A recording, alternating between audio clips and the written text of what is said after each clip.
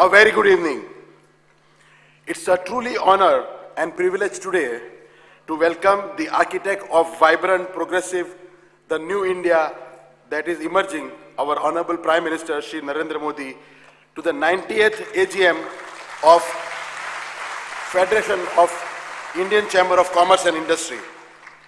On behalf of the Executive Council, the members and staff of FICCI, I would like to thank our Honorable Prime Minister for being here amidst us to mark this occasion. I would also like to extend a very warm welcome to the dignitaries on the dais, my fellow Executive Council members, distinguished guests assembled here, excellencies, my friends from the media, and my family. It's a pleasure to have you all here this special occasion. Prime Minister Sir, we take this opportunity to laud government's bold and path-breaking reform agenda, which has been signaled out for special mention and praise from different quarters. The Indian economy, Indian industry, Indian society, and institutions like World Bank, IMF, as well as rating agencies like Moody and S&P have all recognized the giant leap that our country has taken over the past three years. In a significant achievement, we jumped up 30 notches into the top 100 ranking in the World Bank's ease of doing business. This jump is the highest by any country and is crucial for future growth and development of our nation. It's a positive affirmation that all-round multi-sectoral reform agenda of the government is yielding results now. Close on the hill of this, the credit rating agency Moody uh, praised the government's effort to broaden the tax base and tackle the non-performing loans and said this reform provide stability and enhance India's high growth potential. The agency also praised the demonetization policy for helping reducing corruption, increase the size of the formal economy, and improve the tax collection. This is a recognition of India's macroeconomic reforms. Year 2017 has been a historic one with GST finally coming into force. Not just this, the step taken to help the business adjust the new system, the user feedback system, helping resolve bottlenecks, relaxing deadlines for filing returns, cutting tax rates, are all indicative of government's commitment to involve all stakeholders in its development agenda. Sabka Saath, Sabka Vikas is not just a slogan, but is actually being practiced here. Sir, earlier this year, you had given clarion call of India first. Indeed, this is a passion and spirit with which we need to work. It speaks volumes about commitment that the government has shown for, for furthering the growth and development of the nation. FICCI stands united in this goal for nation's progress. There has been several milestones over the past three years that have been uh, there in the Indian economy and placed up, uh, us on the firm path of progress. I'm not going to enumerate all, but you can uh, see that in the speech, written speech I have given you. But few things is worth noting here is that the, there is a fiscal deficit target which has been taken up very seriously. There is a ranking improvement in ease of doing business. We are among the top 100 and moving forward. FDI has been historically high.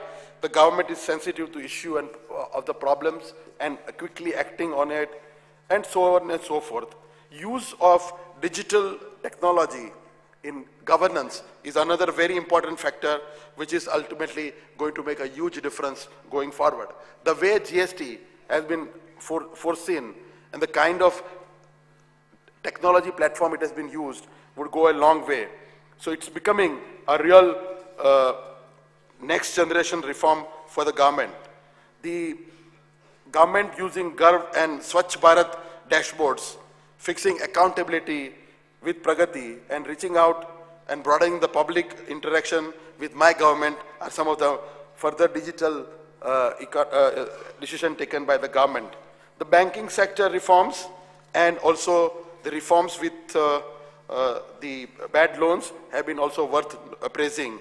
The youth of India have a new spring in their step with the initiative of Startup India, Stand Up India.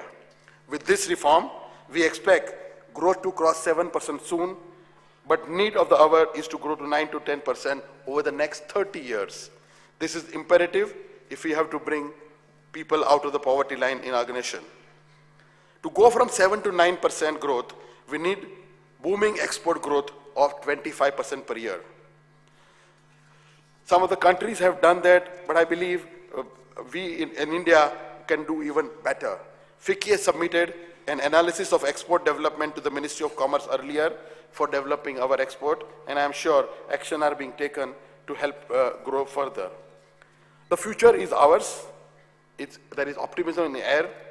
Recently, the index of uh, consumer expectation in November 17 showed a historical upswing, coinciding with the positive change in the direction of GVA growth figure of the second quarter. The voice is very clear, unambiguous, and free of confusion. The vision is bright, and we all understand that. All of us share our enthusiasm as we undertake further much needed, long overdue reform of 3L, land, labor, and legal. You know, in, sir, in your Independence Day address, you had said there is a new India shaping up, and this needs a new approach. From chalta hai attitude to badal sakta hai mindset. We are committed to this and stand by you to give the shape to a more competitive India. Prime Minister, sir, India is ready. Lead us to the US dollar 20 trillion inclusive global economy. Sir, the world is growing through major upheaval. The recent amendment in the US tax laws are seeing a shift from global economy to an internal looking economy with focus on territorial taxation regime. This is likely to result in a kind of imbalance in the world trade and will create changes in the way the international business takes place today. The new tax regime proposes by the US government of a maximum tax rate of 20% and simultaneously any remittances made even for normal transactions like trade will attract an excise duty tax of 15 to 20% as per House or Senate version. I believe Brexit, UK is moving towards different kind of tax regime and we are sim seeing similar thing in our neighboring country, Singapore as well. Globally, the nations are moving towards a low tax regime and focus on more on internal economy. Sir, India, under your able leadership, has been globalizing rapidly. These steps are major, major, these steps by the major economies like US and UK can be disruptive for the global economic scenario. Sir, we look forward for your guidance and intervention in developing a new path for India amidst such disruptive changes and emerge victoriously as we have always been. FICCI would be happy to partner and collaborate with the government to brainstorm and arrive at appropriate solution for our nation. Today, India needs to speak in one voice together. This unified approach will bring collective strength and encouragement to take reforms further deeper. I assure you, sir, that the industry can be trusted as a partners of development. This dialogue has to be higher level of understanding and engagement to overcome our national growth deficit quickly, not only for us, but also for the next generation of the teeming millions of our country.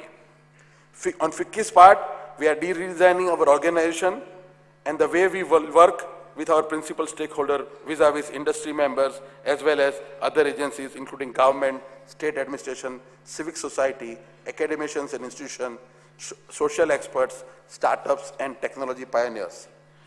We are focusing on creating a member-driven organization and would like to bring greater accountability to ensure that the organization continues uh, to remain relevant. We need to focus on brilliance and eminence in our leadership approach to create accelerated development and growth. Sir, I'm happy to report to you that we all, are, all have agreed in a special meeting create, for creating a new vision for development of nation. This would greatly help us, the government, step forward proactively, re reciprocate the trust to the industry. This will, need, this will bring us to the new vision. Sir, you have shared the vision of year 2022 to our country and have called for building a new India. FICCI wholeheartedly support your vision of a new India which would be built on four pillars. Development for all, an India free of hunger, illiteracy, communalism, and fear of terrorism. An India in which individual enterprise can blossom, and an India that is leading the power of the among the nations. At FICCI, we have dedicated ourselves to these goals and our various programs aimed at promoting development, supporting new enterprise, enhancing national security, and making India business globally competitive. We are proud to inform you, sir, that this year FICCI have built productive partnership between FICCI and the Ministry of Human Resource Development, Urban Development, Renewable Energy, Environment, Skill Development, Science and Technology, and Sports. We are collaborating with ISRO, ICMR, and DRDO to facilitate commercial development of Indian technology. Recently, FICCI and ISA have decided to form a global task force under the FICCI's chairmanship for coordinating solar innovation. FICCI, particip uh, FICCI has participated actively in Global Enterprises Summit just concluded in Hyderabad and over 120 women enterprise entrepreneurs from FICCI participated in that summit. Mahatma Gandhi the original architecture of FICCI, had once said industry should regard themselves as trustee of poor. In, the, in its 19th year, 90th year, FICCI has rededicated itself to his ideals and has launched a new initiative to promote Dalit enterprise. As a new India, as in new India emerges, creating a plethora of opportunity for growth and development, FICCI will continue to lead the way as a voice of policy change. We will continue with our mission to support rapid, inclusive, and sustainable growth that encompasses health, education, livelihood, governance, and skill development. On behalf of all us present here, I would like to request our Honorable Prime Minister Narendra Modi ji to accept, he has already accepted the memento which depicts the vision, the initiative and the action and the, so and the social change which is, he has envisioned. Sir, the stalwart who unified India, Sri Sardar Patel, had once said, faith is no avail in absence of strength. Faith and strength both are essential to accomplish any great work. In this mission to create New India, FICCI assures you of both faith and strength. Thank you very much.